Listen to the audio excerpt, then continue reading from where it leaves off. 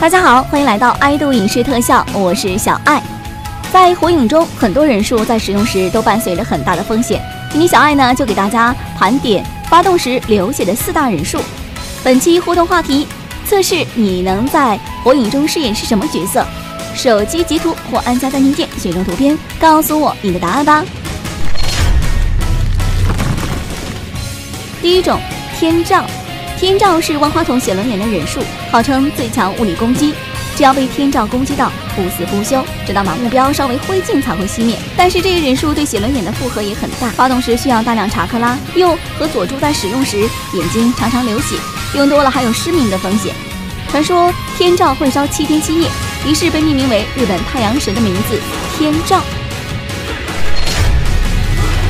第二种通灵之术。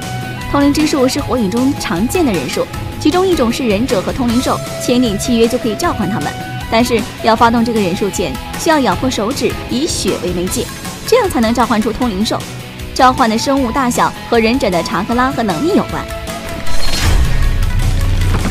第三种死丝平血，死丝平血是飞段的能力。飞段信仰邪神教，获得了永生不死的能力，更获得了一个变态忍术死丝平血。